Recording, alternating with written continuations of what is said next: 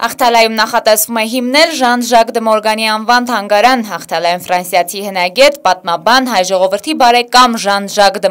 անվան թանգարան հիմնելու ծրագրի շրջանակներում երորյա գործնական այցով լորում արզում էին Օտեղ դե Պրովանս կազմակերպության ծրագրերի համակարգող Դանիել Գերասիմենկոն և Ֆրանսիայի Սեն Ժերմեն Անլեյ թանգարանի հնագիտության բաժնի տնորեն Քրիստին Լորը։ Նրանք հանդիպեցին մարզի ղեկավարի հետ ներկայացնելու երորյա այցի ընթացքում ձեռք բերված պայմանավորվածություններն ու քննարկվեցին հետագա հետագաքայլերը։ Պրովանս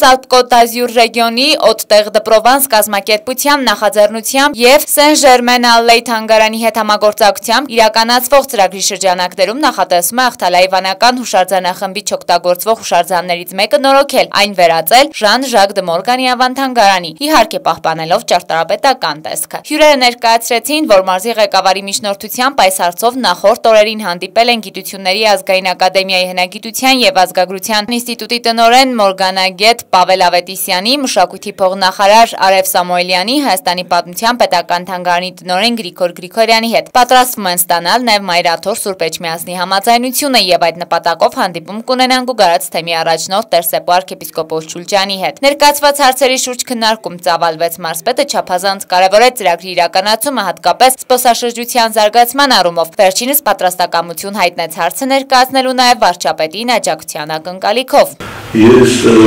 վստահ եմ, որ այս մակարդակի համագործակցությունը